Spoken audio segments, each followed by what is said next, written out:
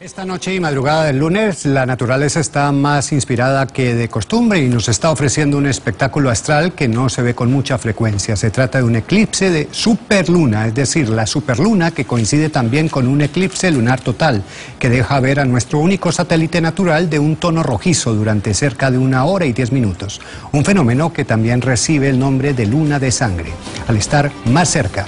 Así que todavía tiene unos minuticos para ver la luna roja.